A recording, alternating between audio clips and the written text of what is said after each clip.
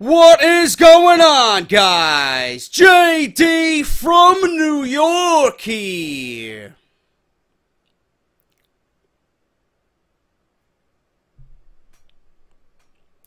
I can't do it, man.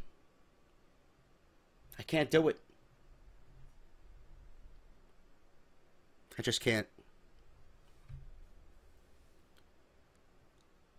I feel like I lost my power. I feel like I've lost my power, bro. I feel like Link. You ever play The Legend of Zelda? And you're in a fucking hard as fuck dungeon. And you got a half a fucking heart remaining.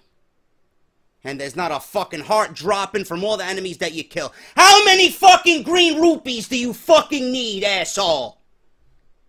That's how I feel. That's how I feel. I feel weak and defeated. I feel lost and hopeless. I can't do it. I don't know if I can continue hosting this show. I've lost my power, bro. I feel like everybody watching an Eva Marie match on Tuesday night SmackDown Live. I feel pathetic and nauseated. And I feel embarrassed and disappointed. I can't do it. I can't do it. My full, majestic, thick. Oh, it's gone. It's gone. The summer months drove me crazy, bro. They drove me crazy. It will be back one day. My glorious beard is no more. I may have to step away from off the script. I may have to go out there and find someone who can fill in for me. That's exactly what I'm going to do. I can't do it. Host. Interim host, please. Take it away, bro. Take it away.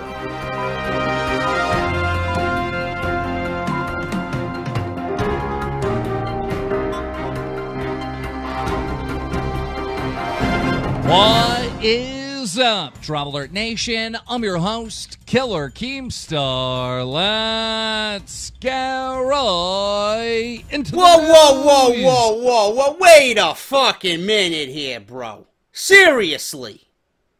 Did you guys honestly think I'd get fucking Keemstar, though it would be fucking hilarious, to host off the script? Come on, bro. Listen, let's do this the right way. First of all, hit my fucking music, bro. Bailey, where are you, you fucking goon? JD from New York, 206. It's for off the script. Big Show and Ryback, Strowman and Roman. Get off my fucking TV and save me the misery.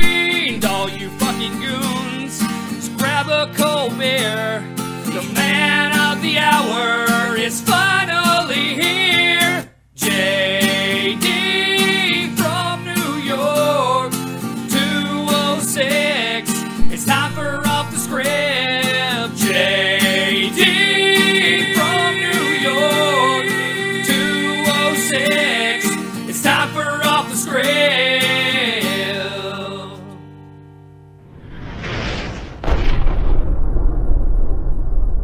Let's do this the right fucking way, man.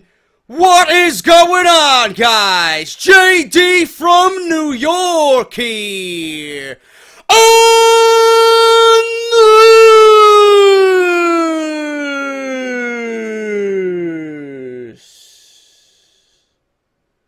Is a show where Keemstar is not allowed, Eva Marie too, because this is the number one fucking podcast in your subscription boxes right here on YouTube.com. This is off the script. Episode 130, part number one to start your fucking weekend off the right way, man. Thank you guys so much. Hope you enjoy. Uh, hope you enjoyed. Enjoyed. What the fuck am I, Matt Hardy? Where's my fucking Vanguard one, motherfucker? Jesus Christ! Thank you guys so much for joining me here on Off the Script. Hope you guys enjoyed that opening segment. Wanted to do something a little bit different because I know there's gonna be, and yes, goon voice alert. I know there's gonna be some fucking clown in the comments. Oh, JD, where's your beard, man? Where's your beard, man? It's gone, motherfucker. Thanks to the fucking heat of New York City. Sleepless nights. Can't fucking take it. I eat a slice of pizza. I got fucking crumbs in my beard. Feel like a fucking homeless idiot. Can't do it, bro. Couldn't do it. So, before SummerSlam, it will be majestic and glorious once again. Thick, full Listen, if I if there's one thing that I do very well, it's my facial hair grows in like less than a week, so it really doesn't fucking matter, man. The heat is really getting to me. It's fucking been absolutely killer. I don't know how you guys in Texas and Florida do it, man. It's Florida-like here for the last couple of days, and I can't fucking take it anymore. I'm, I'm honestly sweating bullets right now doing this fucking podcast. But whatever the case may be, man, thank you guys so much for joining me. I got a lot of shit to go over. Big story about WWE being unhappy with the fucking post draft rosters of the WWE. What else is fucking new? We told you when it was happening that WWE was rush, rush, rush. What the fuck happened? Everybody was right as usual when it comes to WWE. Feels like they fucking penned the show in three minutes. Now they're unhappy with the fucking rosters. We could have told you that before the fucking draft was even announced. You fucking clowns. Anyway, we'll go over that. Apparently, Kevin Owens is rumored to be going to SmackDown. So we'll, we'll see what's going on with that, man. Big stories about WWE being unhappy with the rosters right now for both Raw and SmackDown. I got news on Sasha Banks. I got news on Joey Styles being released from the WWE, man. All that plus so much more on today's show and obviously all weekend long. If you guys want to show your appreciation for the show, man, pledge, donate patreon.com slash JD from NY206. The main thing right now is you guys get early access to pretty much anything that I do when I have the time to do it. Like this episode of Off the Script, it will be up early for Patreons and patrons for my Patreon, man. It's going to be fucking unbelievable. You guys get early access, and I've had many people come to me telling me, JD, I love the early access. Some of you guys work late. Some of you guys don't get to watch it as soon as it goes live, usually at 11 a.m. Friday, Saturday, Sunday. You guys watch it. You know, as you're working your late shifts and, you know, as you're getting ready to go to sleep the night before, you guys absolutely love that, man. That's one of the big perks for being a Patreon. And t-shirts are just about to go out, man. The first couple of the first couple of ones from the top tier, man, they're about to go out. And listen, speaking of t-shirts, that's patreon.com slash JD from NY206, man. I'm gonna I'm gonna throw you guys a bone right now if you're not following me on Twitter, look at this fucking beauty that is coming to Barber Shop Window. That is the latest off the script design version number four of Get Off My TV. Mirror, mirror on the wall. Who is the worst? Of them all. Eva Marie. All red everything. Get the fuck off my TV, man.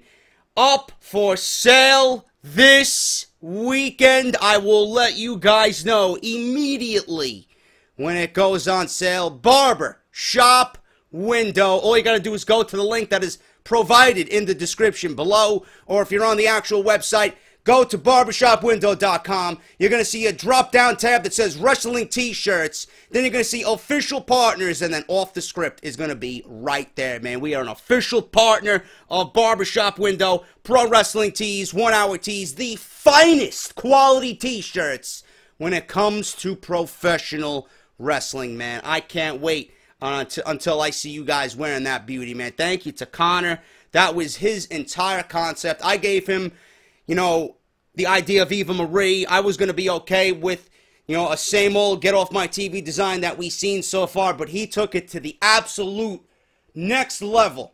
Mirror, mirror on the wall, who is the most pathetic of them all? Eva Marie, man. I can't wait for that shit to be released, man. It's going to be the biggest seller of Get Off My TV, man. I can't wait, man. So that is what's coming.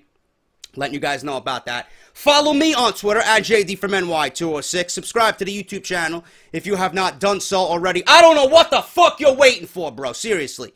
Seriously. I'm an internet darling. So you might as well fucking subscribe right now. Do it. What are you waiting for? JD from NY206. My buddy's over at WrestleCrate, WrestleCrate.com, and on Twitter at WrestleCrates. Use the coupon code JD sent me for an instant 10% off. And WrestleRumble.com is coming back for the Summer Slam Pick'em. So if you guys want to make some fucking money, I'll let you. I'm gonna let you guys know about information regarding that next weekend. Summer Slam Pick'em. Obviously, I'll be talking about that on Twitter as well. That's WrestleRumble.com. Let's get into the fucking news, man. Big stories. Enough of me fucking blabbing. Let's talk some WWE, man. WWE not happy with the rosters after the brand split. Roster changes expected soon. And Kevin Owens rumored to be heading to SmackDown. All this in one story. As SummerSlam approaches, there are even more WWE rumors coming out of the woodwork. And this latest one about Raw favorite Kevin Owens, who just may be moving away from Monday night and going to Tuesday's SmackDown Live roster. The report is coming from Sports Sportskeeda, who claim that this latest round of WWE rumors is coming due to the recent draft.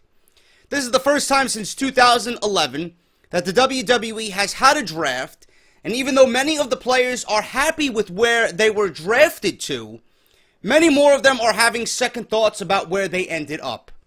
Kevin Owens is one of the few players who are wondering if being drafted to Monday Night Raw was a good thing for his career and if he may end up in a better position at SmackDown Live. The real reason that Owens will do better at SmackDown Live is because, quite frankly, the franchise needs a so called heel, and he certainly qualifies on more than one level.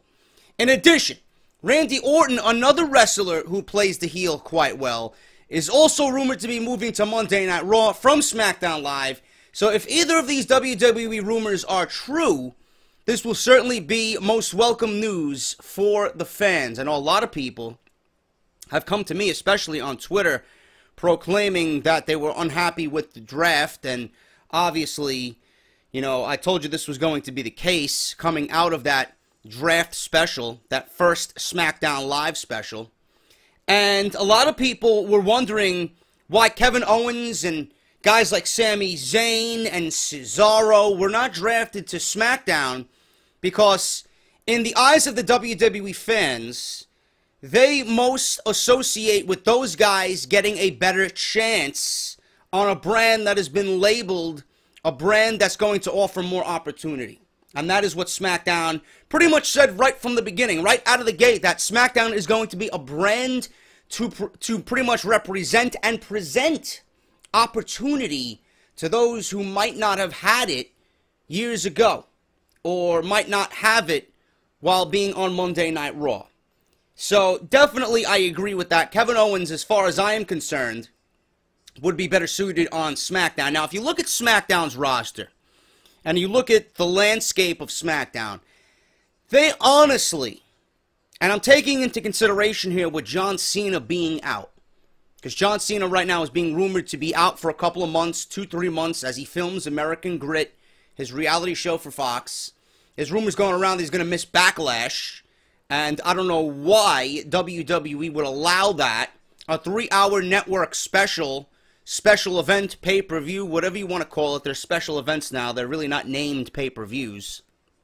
But either way you look at it, it's SmackDown's first exclusive event with their roster only. Having John Cena not be there speaks volumes. And I know you guys don't like John Cena. Some might like him, some might hate him, don't care for him at all. But I think we can all be on the same page here and agree that John Cena on a Backlash or a SmackDown show is better for the product and it's better for the brand.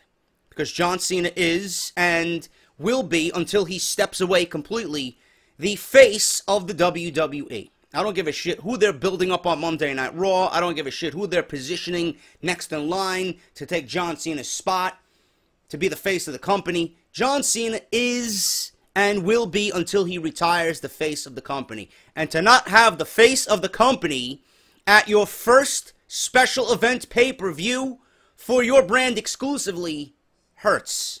John Cena is a face. John Cena is a baby face. Dean Ambrose is a baby face.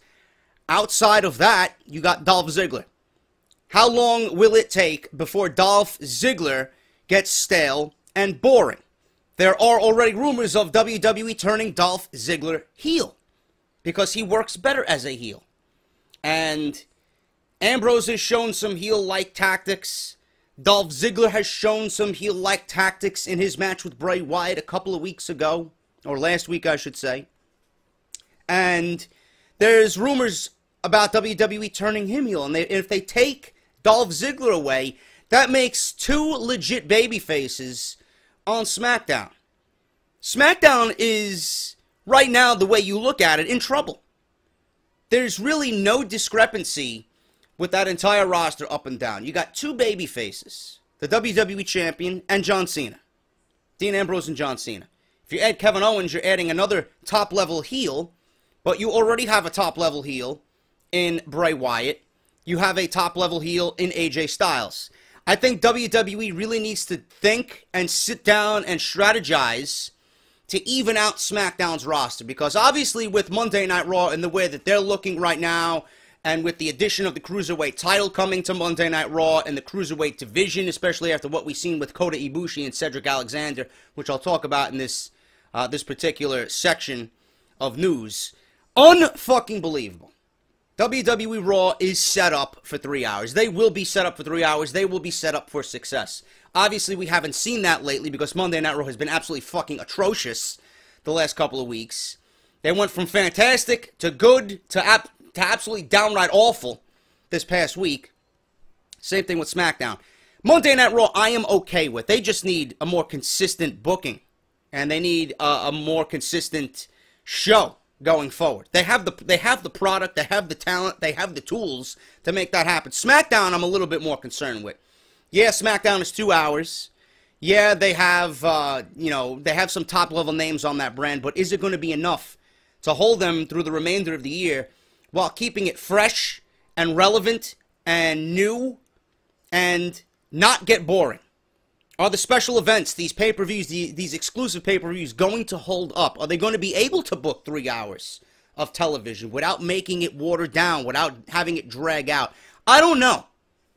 And this is what my concern is. I think it's going to take more than just Kevin Owens moving over to SmackDown. I, I really do. In fact, move Kevin Owens, Cesaro, and Sami Zayn over to SmackDown. I mean, Sami Zayn right now, the way I see it, he ain't doing anything with him on Monday Night Raw. I don't even think he has a fucking match for SummerSlam. How don't you have Sami Zayn, who is one of the best in-ring performers that you have on the main roster, not on SummerSlam? I mean, they haven't even they haven't even tried to get this guy on the show on Monday night. But we got nothing but in-ring talking segment and promo after promo after promo. Titus O'Neil versus Darren Young again and all that other bullshit. A fucking wedding in which Roman Reigns crashed it. Went on for 15 fucking minutes. Another 15 minute segment, which was funny, with Jericho and Owens and Enzo and Cass, but all of that could have been consolidated and you could have put Sami Zayn on the show.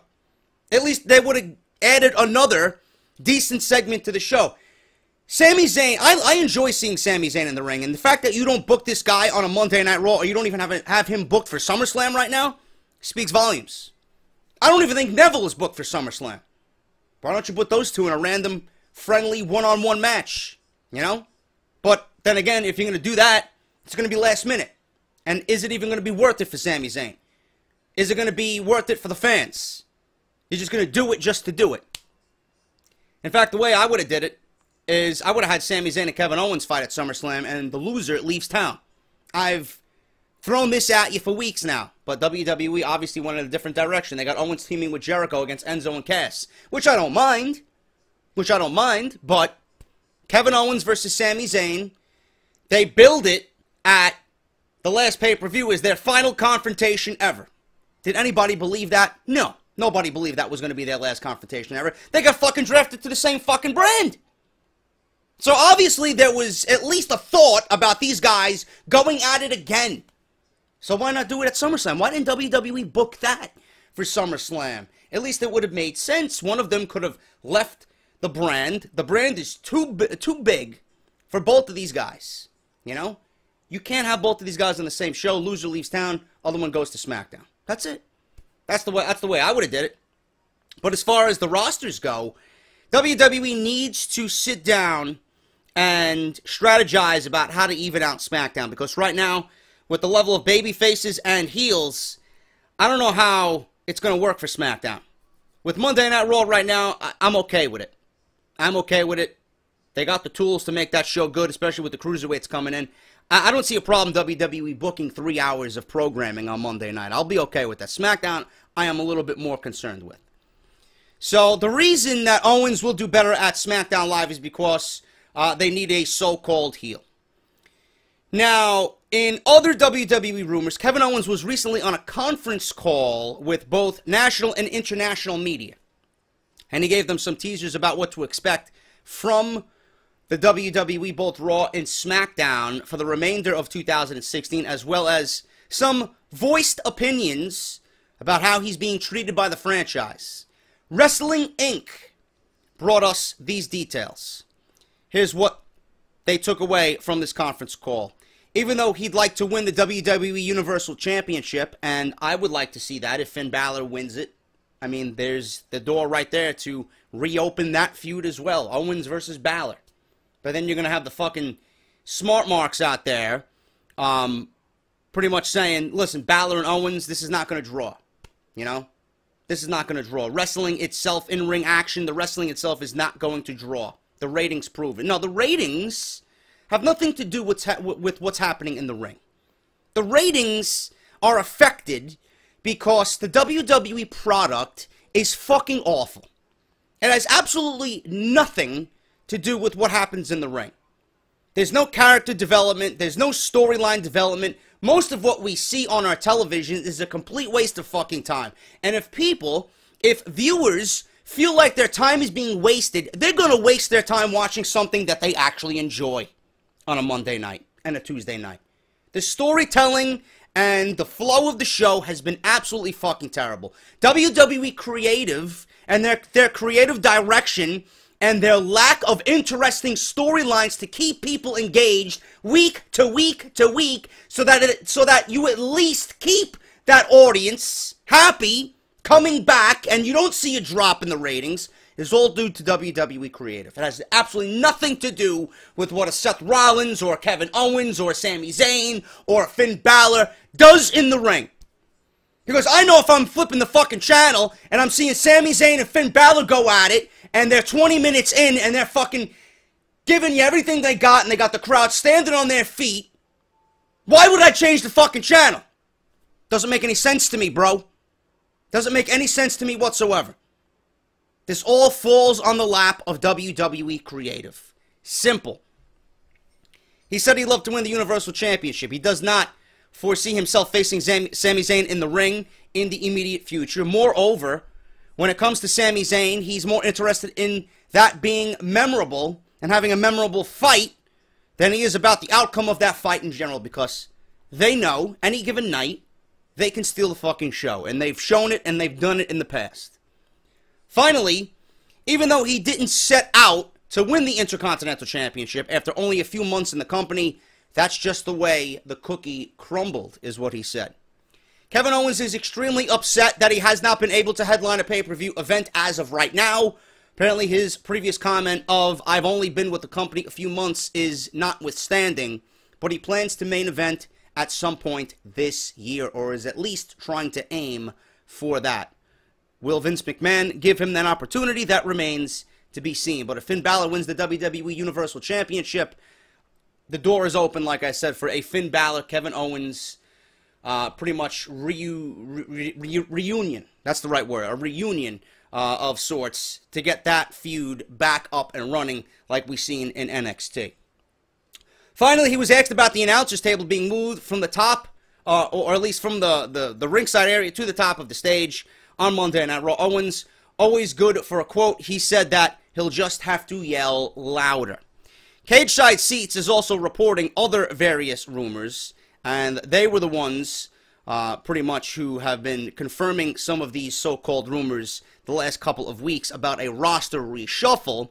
According to them, it's the so called powers that be in the organization that are reconsidering the lineups, and WWE Creative will ultimately be making the final decision. The final deletion, I should say. Matt Hardy's a fucking beast. Other WWE rumors that are still awaiting confirmation, just to throw this out there, or denial, are as follows. Daniel Bryan appeared on this week's Monday Night Raw because of the show uh, getting crushed in the ratings by the Olympics. Who gives a fuck about the Olympics? I certainly don't. There's no word as to whether his appearance actually helped the ratings or that he'll appear on Monday Night Raw again.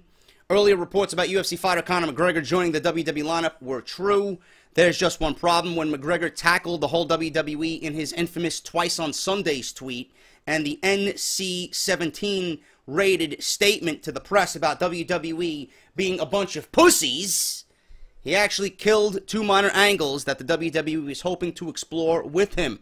I don't know whether that was a thing that was agreed upon by WWE and UFC due to the Brock Lesnar deal for UFC 200. That remains to be seen. Not really sure on that. So basically, McGregor's WWE career was over before it even got started.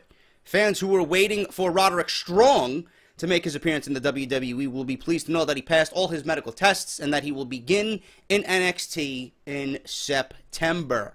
According to Daily Wrestling News, uh, they're another outlet that reported this news about the rosters being shuffled around. There's quite a bit of second guessing now over the draft and the picks that were made. It was speculated that Kevin Owens could end up going to SmackDown. This is according to Wrestling uh, Daily Wrestling News. While Randy Orton gets moved to Monday Night Raw, this would be worse for the Blue brand at the end of the day, according to them, as losing Orton gaining Owens may seem nice, but it would hurt to lose a top star for an up and coming star. The only way this could be done was via trade, and Owens is certainly not going to want to end up on SmackDown due to his history with Shane McMahon per storyline, the commissioner of that brand, which might offer us a new, fresh, and exciting storyline that WWE could visit. With Orton also being a star for the brand, it would be idiotic to do a one for one trade with Orton and Owens just switching brands. The best thing WWE could do is have Alberto Del Rio and Randy Orton go to Raw for Cesaro and Kevin Owens, and a random star from the red brand like Darren Young could go to SmackDown as well.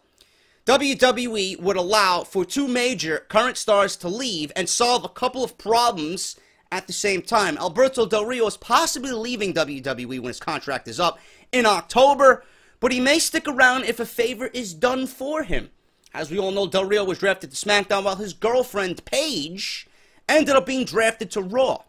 Both were said to be upset about this separation, but management did this because they thought the couple had split due to Paige removing pictures of her and Del Rio from her Instagram page. One would only assume if the pictures documenting this relationship were removed, then the couple the couple would have pretty much split. A couple of days later, the pictures were restored, but this didn't give WWE enough time to shuffle their roster decisions around. Paige brushed this off as basically a tech issue, which makes no fucking sense. The only way you could delete a picture is if you physically go to your pictures, hit the little X in the top right corner of the screen, and manually delete. Delete! Delete! Delete! Every time I hear delete, I gotta say that now. Why would the only pictures of Del Rio be removed? WWE could easily just have Paige go to the blue brand, there is more of a need for her to be on Raw to help with the women's division there, at least for the time being. If Del Rio went to SmackDown via trade, WWE or Raw via I'm, I'm sorry, I'm sorry. I'm getting the fucking brands mixed up here. If Del Rio went in to Monday Night Raw via trade, WWE could get a good mid-card heel character who might stick around if only for his girlfriend, which might be all the incentive he needs. Plus, the Red brand gets Orton, who could be an essential help to get them a great main event worthy veteran. Meanwhile, SmackDown Live gets three great wrestlers, with two possibly being in the prime of their careers. Meanwhile, Darren Young is an up and coming character as well and could, could improve to be a top mid card worker while on SmackDown. Both brands win with this deal, or this proposed deal, this rumored deal, and it would surely even out the rosters a lot. Well, of course, none of this is concrete. We know WWE wants to sh- uh, shift things around and shuffle things around, and it would be smart of them to consider solving a few problems while doing all of this. Kevin Owens, I think, would be great for SmackDown. Randy Orton, you know, WWE right now has SmackDown and Randy Orton, and Randy Orton's a face. He doesn't work as a face. I'm sorry. Randy Orton just doesn't work as a face. If you move him over to Monday Night Raw and you make him a heel, yeah, I mean, it, it offers a little bit more for the viewer for Randy Orton if he goes if he goes over there via a, a trade or something and, and, becomes a heel. I would love to see a Finn Balor versus Randy Orton heel versus face dynamic. I mean, we have a potential. and there's rumors going around. Don't quote me on this. That after SummerSlam, Bray Wyatt and Randy Orton will be feuding. Randy Orton obviously being the face, Bray Wyatt being the heel. But I think Randy Orton as a heel just offers more to his character. Uh, you know, he's he, he's a fucking viper. He's unpredictable, and all of that blended into what he's been known to do in the past just makes Randy Orton a better heel than a babyface. And I think it's going to offer more for Monday Night Raw if Randy Orton goes in to that brand as a heel. Finn Balor, a Sami Zayn feud with uh, with Randy Orton would be fucking fantastic. You know, with Roman Reigns being in the mid card, this actually opens up a lot of potential for for feuds as well. You know, Sami Zayn and Roman Reigns, I'd love I'd love to see a dynamic between that. You know, Rusev and Sami Zayn. You got Reigns and Orton again, even though we've seen it already, but it would be under a different circumstance. Randy Orton and Sami Zayn. I, I mean, the mid card for WWE could be could be great on Monday Night Raw. It really could be great. And then you got Cesaro. You know, WWE. All I know in the end of this needs to shuffle the rosters around and make SmackDown a little bit more, a little bit more viable as a threat to Monday Night Raw. Whether this means Kevin Owens and Cesaro going over there, and Randy Orton and Del Rio going over to Monday Night Raw, remains to be seen, man. But you know, I think WWE at this point can legit take three guys, and I think three is the magic number here. Take three guys and move them over to SmackDown, giving SmackDown three new superstars. You know, you move two from SmackDown over to Monday Night Raw. Monday Night Raw is on the cusp of getting the Cruiserweight division anyway, so they're not going to be harmed by this trade. As long as you're helping out SmackDown in the long run, I think this will be a good thing. It needs to be done. So that is what's going on right now. That's the talk of the town for WWE, pretty much bolstering SmackDown via a trade of some sort uh, for their roster to, to make SmackDown's roster a little bit more appealing. So let me know what you guys think about that. Who would you want to see move to SmackDown? Honestly, let me know. Who would you want to see move to SmackDown from Monday Night Raw? Speaking of the cruiserweights, Cedric Alexander. Unfucking believable, man, with what he did with Kota Ibushi on the Cruiserweight Classic, the start of round two. We got two matches two matches on Wednesday night, and these two matches were legit the best thing that WWE put on all fucking month. Honestly, Gran Metalik, I, I, am enjoying what he's bringing to the table. Tajiri, I hope he gets signed. He's 47 years old, I know, but if you if you sign him, he's got a couple more years left in the tank. He could be a beautiful addition to the cruiserweight division, and he's fucking over with the crowd, man. I love the way he he maneuvers in the ring. He's 47 years old. He does not look it at all. He does not move as if he's 47 years old. He still has a lot left to offer. And if you want to make the cruiserweight division a serious threat to to everybody, not only not only within your own product, but for the independents, to take these guys and showcase these types of guys and pretty much make a statement in the wrestling world. I think having Tajiri and guys like Gran Metalik and Cedric Alexander, Kota Ibushi, it's going to do fucking wonders for WWE. But Cedric Alexander and Kota Ibushi, man, if you guys missed this, you need to go out and watch it. I, I mean, if there's one match you need to go out and watch, I mean, if you don't even have the fucking network, sign up for it in August. You're going to get it for free. You can cancel at the end of the month, man. You got the Cruiserweight Classic, you got NXT TakeOver back to Brooklyn, you got SummerSlam. Sign the fuck up for the WWE Network. If you don't like what you see, which I don't know why you would not after watching this fucking match, you can cancel at any time at the end of the month. But if you have not seen it and you don't have the network, I swear to God, go and do yourself a favor. I would never steer you wrong. Cedric Alexander and Kota Ibushi might have had the best match of 2016 in WWE. Unfucking believable. Came to a point where Cedric Alexander lost. He received a standing ovation of thank you. Fucking, I don't know how many people fit in Full Sail. Five, six hundred people. Every fucking person in that arena on their feet chanting thank you to Cedric Alexander. Triple H came out because the crowd started chanting thank you and then please sign Cedric. Triple H comes out, grabs him by the neck, and does that little head nod. And he, he waves to everybody and brings Cedric Alexander to the back. Cedric Alexander expected to sign with NXT after wonderful performance during the Cruiserweight Classic. It has been said before, and it'll be said yet again. If you aren't watching the Cruiserweight Classic every week, you're missing out on amazing in ring wrestling. Last week, Johnny Gargano versus Tommaso Ciampa had a match that the WWE Universe has been talking about all week. But Cedric Alexander and Kota Ibushi weren't to be denied their week in the sun. During last uh, during the last episode of the Cruiserweight Classic, the start of round two, Alexander and Ibushi met in the second round of the tournament to decide who would be moving on to the quarterfinals in a fantastic match with many impressive near falls and two excellent performances by both men. Ibushi ended up getting the victory over Alexander after a golden star power bomb, which is quickly becoming my favorite finisher in all of WWE, man. Every time I see him hit it, you just know it is over. However, Alexander received overwhelming praise from the crowd at Full Sail University, and it led to a moment where the game, Triple H, came out to reassure fans that Cedric Alexander's future in the WWE is indeed bright. There's some speculation about Triple H coming out to grab Alexander because he was wasting time and needed to come to the back quickly, but it's undeniable that Cedric Alexander accomplished something big that night and will be in the WWE. If this guy is not signed for Monday Night Raw and the Cruiserweight division, it is going to be a criminal offense on WWE. Actually, everybody in the second round. Honestly, everybody. From what we've seen already, Gran Metalik, Tajiri, Kota Ibushi, and Cedric Alexander.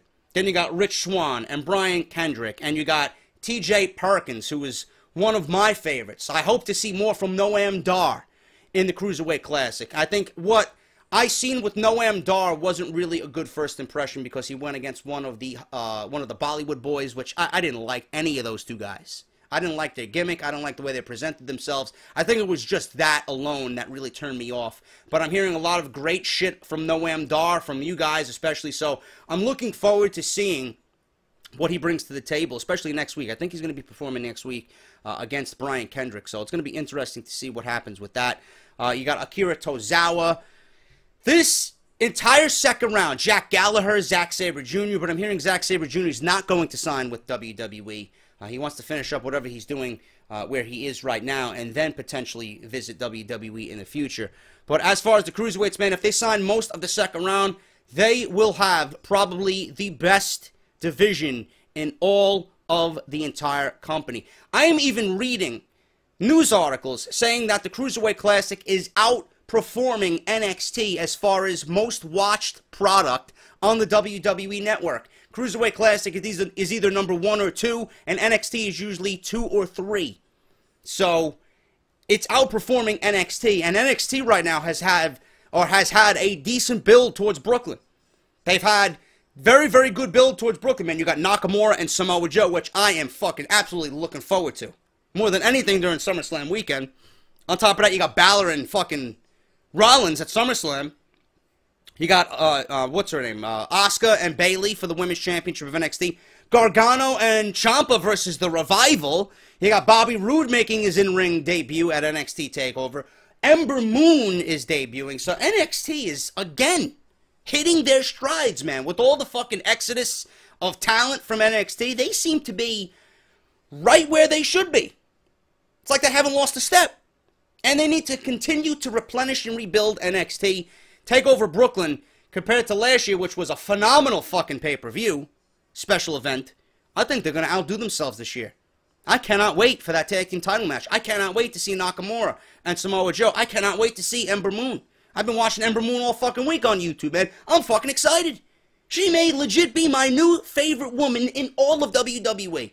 And I love me a Sasha Banks, and I love me an Asuka, and I love me a fucking Becky Lynch.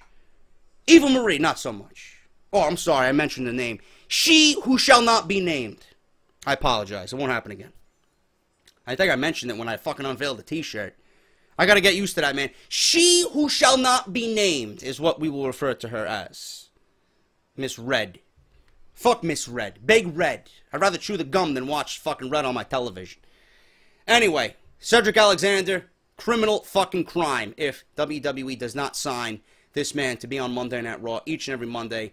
Um, I'm looking forward to the cruiserweights on Monday Night Raw. You can position them to open the show at 8 o'clock, at 9 o'clock. You can have two cruiserweight matches per week and make it competitive. Make it competitive, man. I can't wait. September is going to be a great fucking month for WWE. Hopefully, Monday Night Raw itself gets back on the right track so that we can be excited about the brand again because right now I have absolutely no faith in what Monday Night Raw is delivering. Uh, according to some rumors, Vince McMahon has not even been on Monday Night Raw. I don't know what's going on. I believe he's turning 71 at the end of August, right after SummerSlam. I think August 24th is Vince McMahon's 71st birthday. Uh, he's not going to be on Monday Night Raw this week and next week. He's not going to be at SummerSlam. He wasn't on Monday Night Raw this past week and the week before that. So I don't know what's going on, but I'm hearing that he's still micromanaging via telephone. So who the fuck is really in charge of okaying these shows? That's what I would want to know. Why are these shows so fucking bad? Are the shows this bad because Vince McMahon is not there? There were rumors going around that Vince McMahon booked that Monday Night Raw, that first Monday Night Raw of the new era. It was all Vince McMahon. If Vince McMahon is going to book shows like that, I think we need Vince McMahon back. And we've been very hot and cold on Vince McMahon uh, off the script. But if Vince McMahon is not there and the shows are suffering, I think it's better to say that we want Vince McMahon back behind the scenes at WWE. But that's just the rumor going around right now. I don't know how concrete that information is, but that's pretty much what I am reading right now. News on Sasha Banks, and I know all you fucking goons are heartbroken that Sasha Banks is off the fucking market. Backstage news on Sasha Banks' wedding not being mentioned by the WWE. Last week it was reported that the current WWE Women's Champion Sasha Banks got married in a private ceremony, which broke the hearts of many goons around the world. The news came out of left field for a lot of the WWE universe because the boss and her personal life has been kept mostly out of the limelight, which is different than a lot of WWE superstars have handled that part of their lives in the past. According to a report from CageSideSeats.com, there is a specific reason why WWE and Sasha Banks haven't commented or made her wedding any more public than a few posts on Instagram.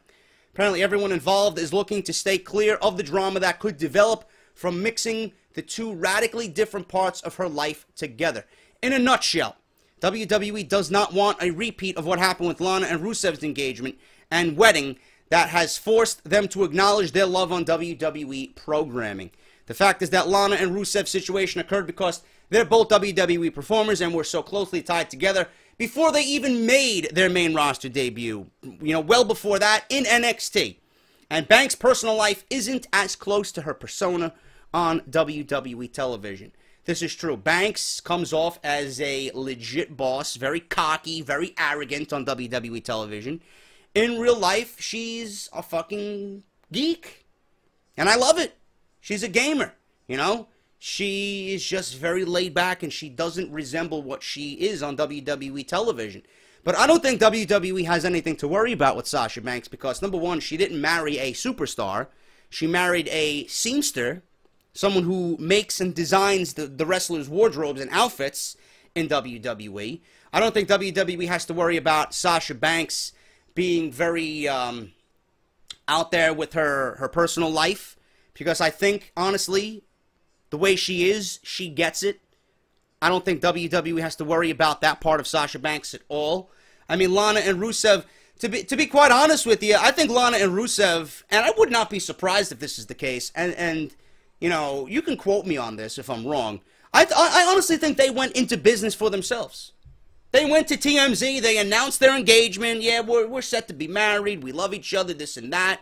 Meanwhile, Lana was in a storyline with Dolph Ziggler after she had dumped Rusev and went with Ziggler. Started wearing jean skirts and jean jackets and fucking Dolph Ziggler didn't know whether he wanted to be a mix of Shawn Michaels or fucking Motley Crue, Tommy Lee. Jesus fucking Christ, what the fuck was going on with that shit? Honestly.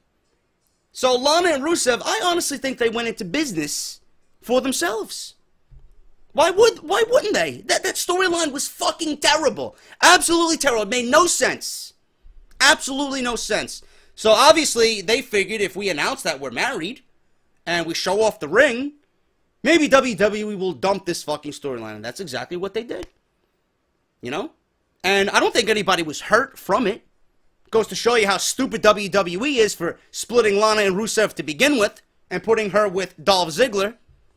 Dolph Ziggler doesn't need anybody. Dolph Ziggler can be a cocky prick on his own. He doesn't need a female accomplice to get that point across. Lana always needed Rusev. Rusev always needed Lana. It's a pairing that just makes sense, and if you split the two, they will suffer greatly on their own. And that's the way that's the way it ended up being. And now that they're back together, you see Lana and how she portrays herself on television, it works. It, it wasn't working when she was with Ziggler at all, and it wasn't working when she was by herself. Rusev needed somebody. It didn't work with Summer Rae, obviously. Rusev not going to work on on his own, even though I, I I'm I'm fucking in love with his mic skills, man. He's absolutely fucking hilarious. Even when he doesn't mean mean to be hilarious, he just comes off hilarious. So Rusev and Lana back together, they just work.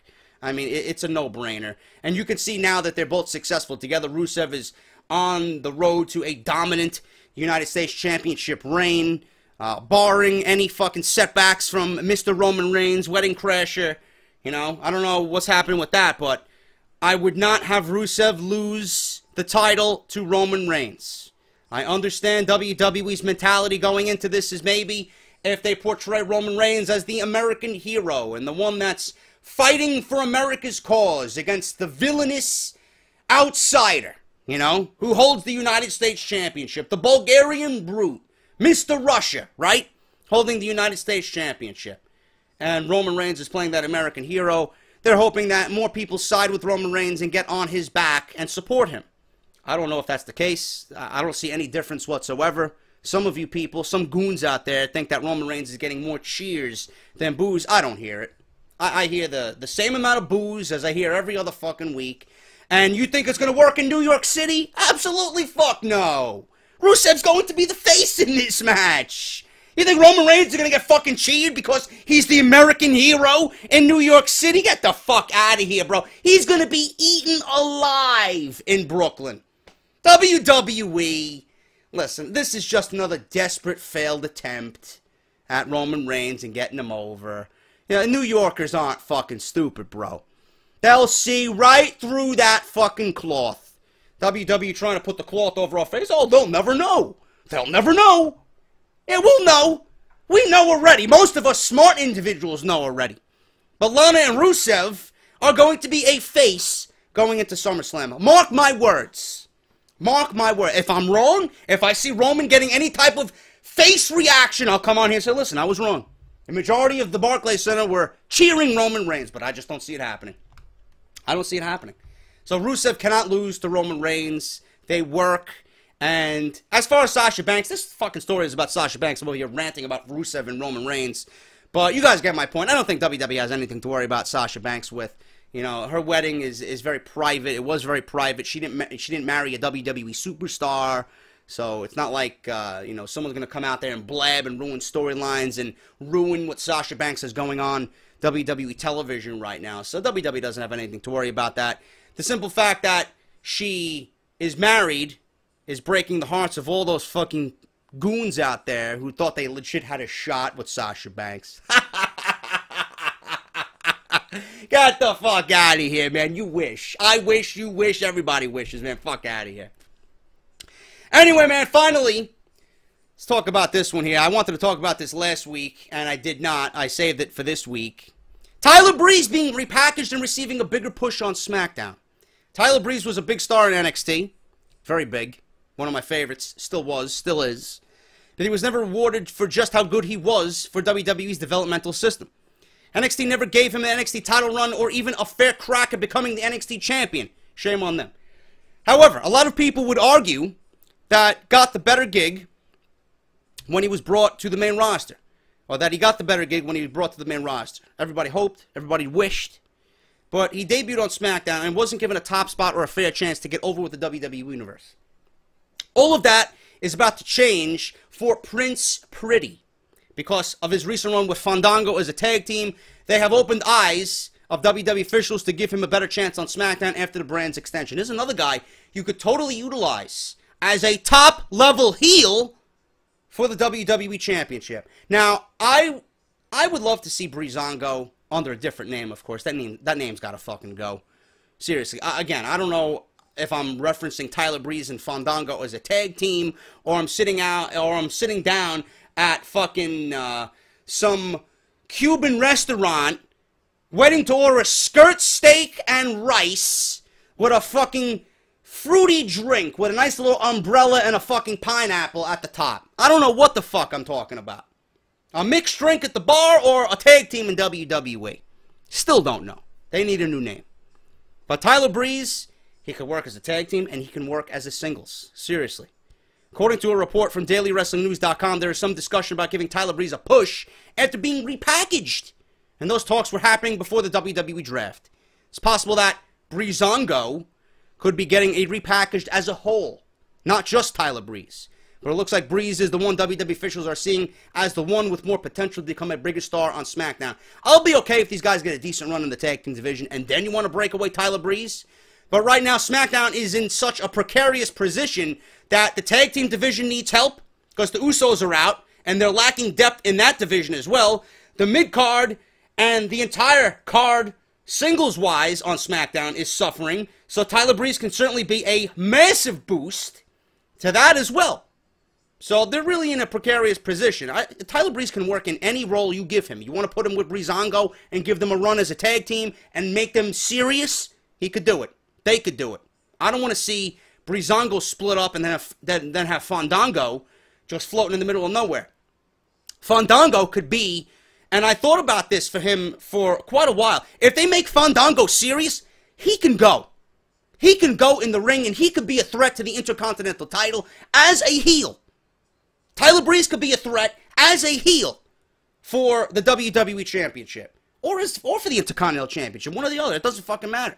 They could be a threat together as a tag team for the tag team titles. So this is a good thing for WWE to be, and they got two legit guys here that they could utilize on SmackDown. It just you, you got to make the right decision about where they go. I don't think you could be wrong about where they go. If SmackDown truly is the brand for opportunity, why not give Tyler Breeze and Fandango the opportunity to shine? I would love to see them as a tag team succeed and then break away. But if you're going to make Tyler Breeze into a successful singles guy, which should have already been done, I'm not going to argue with you. But as long as you make Fandango, who is talented and legit in his own right, just as big as a star as Tyler Breeze for the mid card, for the IC title. That's it. This is a good thing for WWE to be in. There's no, there's no negative here. They just got to play their cards right. You can't have one be more successful than the other. Both men are talented. Both men can offer a lot and they've been both underutilized. Use them. It's not that difficult at all. That's pretty much everything, guys. Thank you so much for watching and listening to me. This week, guys, unbelievable. More to come. Backstage heat on Sami Zayn heading into SummerSlam for what? The fuck did he do? The only thing logical here that I could think of is that potential injury that he could have caused himself in the last match he had with Kevin Owens. I don't know what backstage heat he could have. Sami Zayn. Joey Styles released controversial comments surface from Joey Styles in a Facebook Q&A he did about the WWE, and he did mention Roman Reigns. Every time you mention Roman Reigns, it seems like something fucking bad's gonna happen. Brock Lesnar, rumored to be heading towards the Universal Championship at the start of 2017. All that plus so much more on this weekend's Off the Script, guys. Thank you so much. If you guys missed my King of the Ring round one match with Dean Ambrose and Sami Zayn, go check that out, man. Link is down in the description, and it's been in the video with an annotation, man. Go check that shit out. We also got Finn Balor versus Shinsuke Nakamura and AJ Styles versus Roman Reigns. Seth Rollins versus Kevin Owens coming up this weekend to finish round one of my road to WWE 2K17 King of the Ring tournament, man. If you guys want fucking full fledged, all out action, I guarantee you're gonna fucking enjoy this, man. Thank you guys so much. The Eva Marie, oops, I said it again. She Who Shall Not Be Named t shirt is coming out this weekend. Thank you to Connor again for designing such a, such a beast fucking shirt. Barbershopwindow.com. Follow me on Twitter at JD from NY206. Subscribe to the YouTube channel, same thing. WrestleCrate.com and on Twitter at WrestleCrates. Use the coupon code JD sent me for an instant 10% off. Patreon.com if you guys want to pledge. Patreon.com slash JD from NY206. And WrestleRumble.com.